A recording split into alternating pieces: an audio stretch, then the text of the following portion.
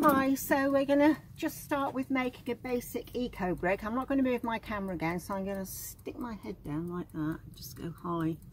And uh, this is the materials that you'll need to start. So a tray of um, exterior cement powder mixed up to a, a slurry, like um, a double cream consistency strips of rags. You can use any old rags but um, ideally if you've got any old scrim which has got a bit of an open weave to it that's even better like a, a builder or windows scrim. Um, cut some strips of wire ready. This is chicken wire but you can use um, well you can use broader wire you can use a, a nice aluminium soft craft wire which would be easier to manipulate some wire to tie bits together, secure bits together, some brushes to smooth down um, the surface of the cement and the rags as you go along. And something decent to cut your wire with. Having said that, secateurs or pliers will do preferably some gloves to protect your hands. These were very cheap from Amazon. They're what they call cut resistant gloves. I think they're about 59p a pair. Um, a mask for mixing dry from dry powder. An eco brick. And probably the easiest thing to do is look up eco bricks online make an eco brick. But basically loads of chopped up un, um, non-recyclable plastic and then ram it in with something at that end and then just ram it down as hard as you can to ideally get a nice firm block or brick. And then what I've made from my eco bricks and you'll have seen this before is this garden pod. So we're just going to look at a pod, pod shape for this session. And um, you know once you've established that or you may just you know go outside the box and make something different anyway straight off the bat once you've got the basics of going around the eco brick then you can expand on that. So this was made from an ordinary um, water just a, a small water bottle size.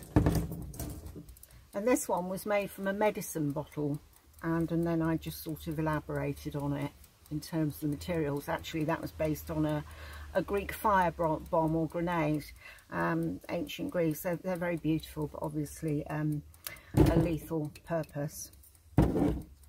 Your eco bricks can be all sorts of sizes. I've got massive ones. Anything I can find on the side of the road, just fill it with, with rubbish. So, um, so going back to this, so if you have some wire cut ready and wrap it round, and I'll just demonstrate that first of all. I've got one piece on there. And this does cut your hands, but I, I'm not very good at wearing gloves. So just be careful and then these little bits that stick out you can use those to to just grasp an adjacent piece fold it round. I'm doing this very quickly. Um, I mean that's holding on to itself really. Um, if you don't feel it's secure enough you can wrap some wire around it and tie it and then continue. And as you put I put I'd say put a minimum of two layers of wire on the bottle. And then as you as you start to move around the shape you can just squeeze the wire and manipulate it to the basic shape that you want. So I've already got like a poddy like thing going on already. And then coming up the other end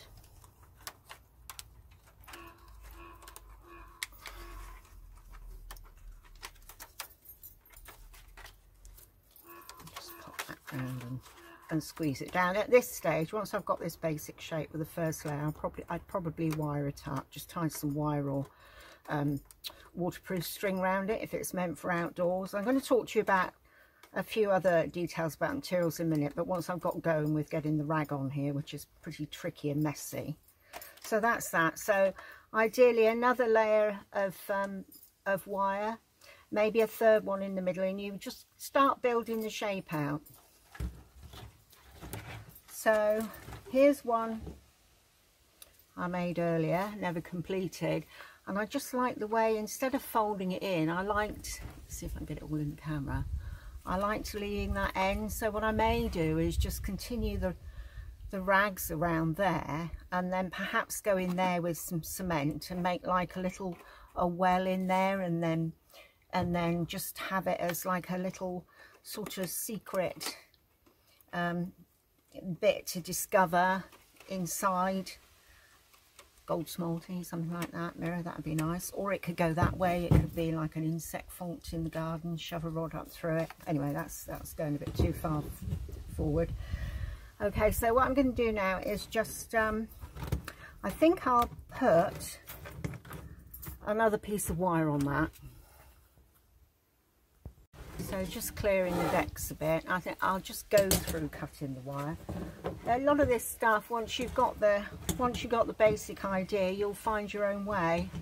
Um, it's simple, it's prickly, and it can hurt your hands, but once you get into it,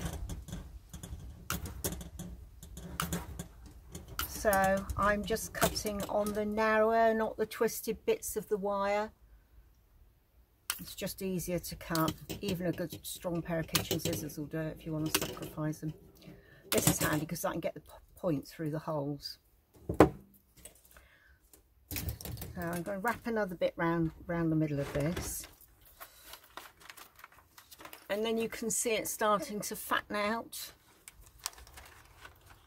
So just get it to just get it to the, the kind of basic shape that you would like. So if I was making this into a pod I'd probably go at least another layer around and then really start squeezing these ends in fattening this out. I'm going to tie this down as well now I think. So you can grab some bits go through the mesh do it that way or go right round. Probably the mesh is best. Um, so it's wonderful. Other people, as you all know by now, making these, including Rachel and her mum and um, Sarah and uh, Recycle Me Mosaics. Um, they're having a go. So they probably found their own ways with it. Now this is just taking you through those first stages and you can have a play. I reckon for the first one, perhaps might be better off starting with something this sort of size. It doesn't have to be a completely cylindrical pod. It could be more kind of a flatter ovoid. I mean, something like that you could you could even, if you just went really fat there, you could stand it up. So you can take it all sorts of places. So that's just popping that wire in there. All this is uh, scrap material and I love that. I love that. It's free and of course it's uh, eminently uh, more environmentally friendly although everything is uh, not in the end.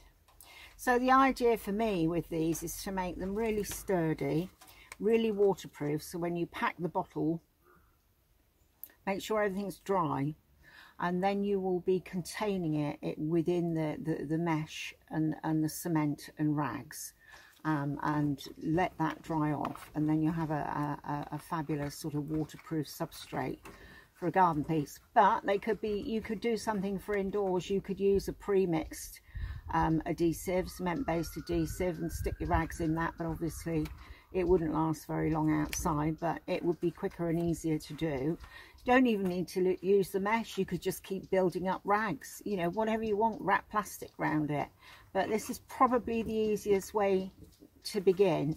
So just to reiterate, we're taking the, the basic eco-brick method, which um, they are a kind of a sustainable, environmentally friendly way of making bricks and, and using them in architecture. Easy to look up online. And then the addition is wrapping the wire around or something around it to build out, build it out into the sculptural shape that you want.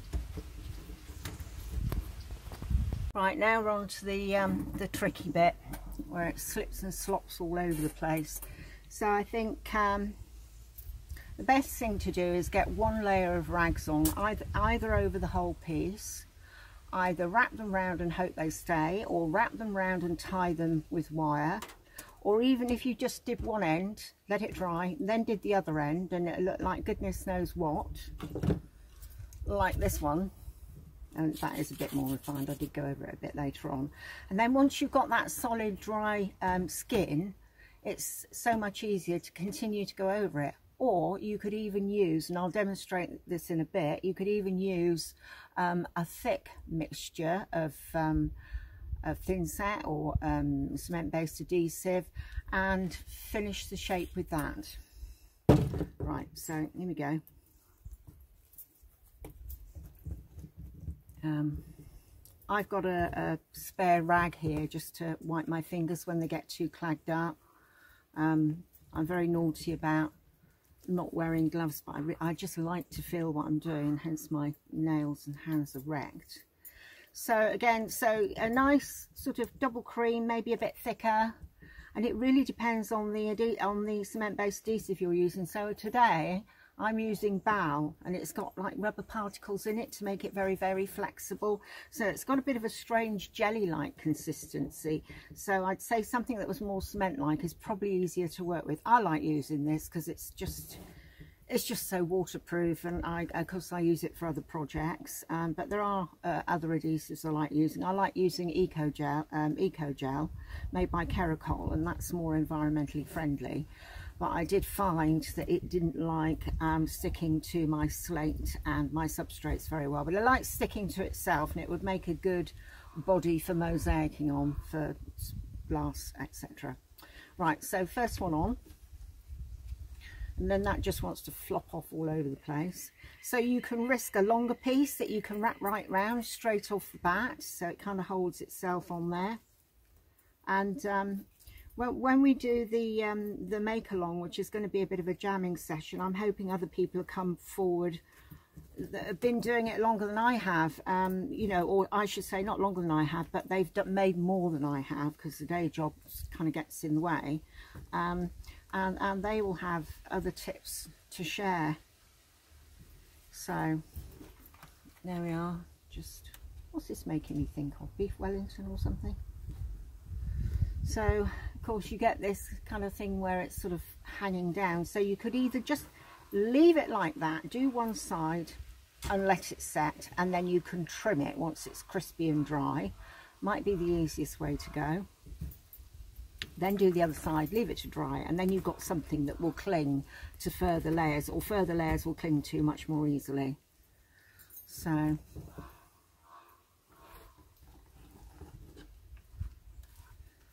so for the sake of the for the sake of the demo I'm going to pop a couple of bits of wire around that. God it's incredibly hard trying to talk. Watch the camera and do what you're trying to do. Okay, another bit. So you could just, I've been a bit mean with the wire here, you could just keep wrapping that round until that material's nice and tight and can and carry on. So I'm going to fold this over now and we'll just pretend I've got more wire on there. So imagine that's wired up more stably uh, this this this this stage is is horrible. Is horrible. I'm a very impatient person, so I was just left to it. I I just keep wiring it and whacking it on, and then put it to one side, let it dry. And as I say, it looked like you know, goodness knows what, but you can refine it later on. So, so that's it, basically put it on some plastic, a bit of old plastic to let it dry and then the plastic will just peel away um, without damaging the work. You can go that way if you want to take it over the ends. It's all flopping in my lap now. So I'm just going to put that to one side and I will let that one dry actually and work on it again. I might play with it a bit more in a minute when the camera's off. I've got all this stuff left over. Oh. Okay. So with this, I'm just going to wet this down and the stuff that I'm going to wet it down with is actually, it comes with all exterior um, tile adhesives, is, is a primer.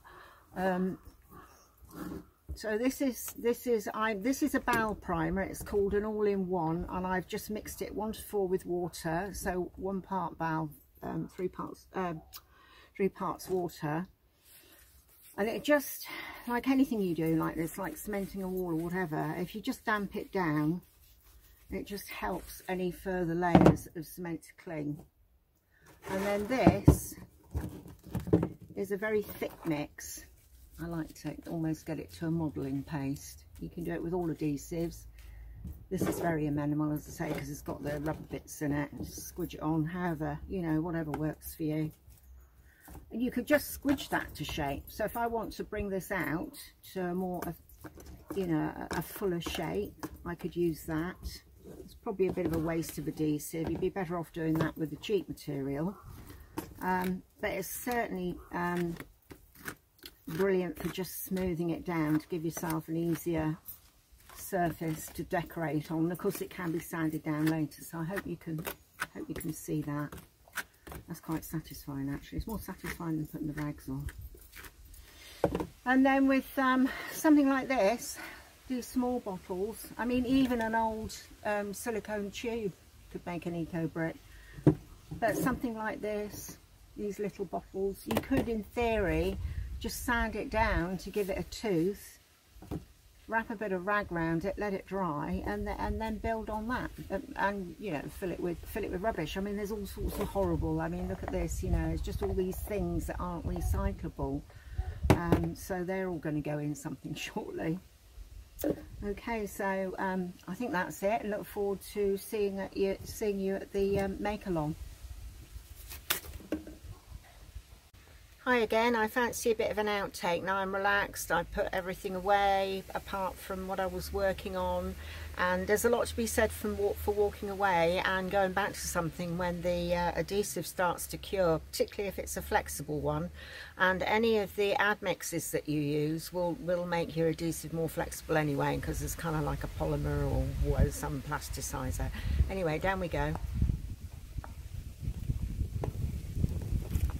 So this is going back to this one that I started to put a layer of the thick stuff on to tidy up the surface. So I, I got a um, um, smoother surface to work on later on. It'll be easier than trying to follow the lumps and bumps unless I want to. I suppose it doesn't even have to be mosaic, but anyway. So um, what I did was I spread, it could be water, but I spread some of the this uh, admix on, or primer, and then before it's um, really really dry just probably better to use a glove or a tool but I like mud pies. Just smoothing it down and then just seeing with my fingers if you like as well as as well as my eyes. But going back to this one um, he started to the adhesive started to thicken up just a tiny bit. It's still pretty floppy and fragile, but I've got some stuff left over. I've got some rag left over. So what I'm going to do now is a bodget and scarper. Rip up a large bit. I want to use this stuff up. So I'm just going to squeeze it right in there. It is starting to thicken up now, actually. As I say, it's starting to cure off but then that's um, probably slightly easier to work with.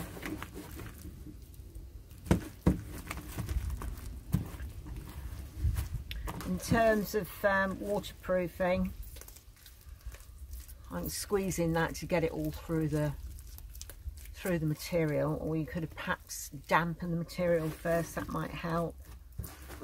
So this is the kind of um,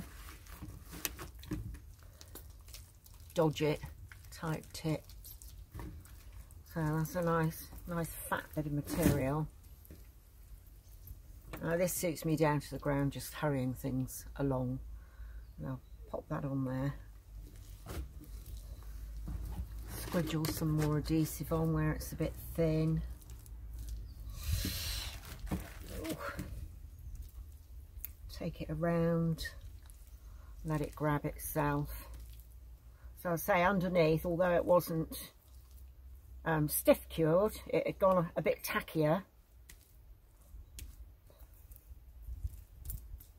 Even that with, with the wet rag underneath, it's slightly easier to work on. I don't particularly like that shape. I mean, it is poddy. It looks like um, a leaf cutter bee pod or uh, well any some kind of creature pod. So yeah I guess if that's if that's what I was doing but I, I think I might I might just once it's dry I might put another piece of mesh on here fatten it out and then I recommend about at least three layers of rag. Just get a nice thick tough skin. Oops. turn the camera off and all my hands are now filthy. Okay see you folks